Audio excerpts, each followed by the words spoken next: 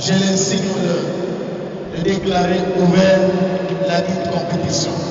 Bonne chance à tous. En lieu et place de Mwanda, comme initialement prévu, c'est Libreville qui abrite depuis ce dimanche 24 août le championnat national élite de handball. Avec 12 équipes au total, les festivités ont bien commencé pour la Fédération gabonaise de handball.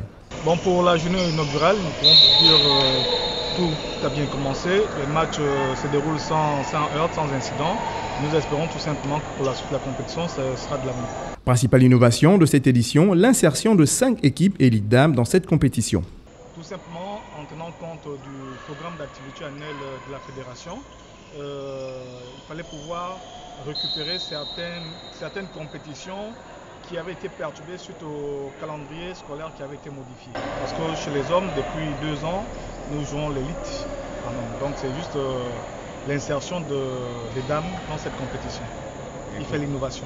Il est également question pour la fédération d'éclairer l'opinion sur la rumeur qui courait concernant un éventuel problème de licence. Il n'y avait pas vraiment de problème de licence, c'était des cas isolés où, vous savez, dans nos tests, les licences peuvent se faire établir à tout moment de la saison. La saison n'est pas bouclée. Donc il peut arriver qu'on fasse euh, des, des, des, des, permutations parce qu'en cours de saison, vous pouvez partir d'un club à un autre. C'est une mutation exceptionnelle. C'est autorisé. Donc euh, la saison n'étant pas bouclée, donc il y a toujours des possibilités d'établir des, des licences. Au total, quatre rencontres ont eu lieu lors de cette journée inaugurale.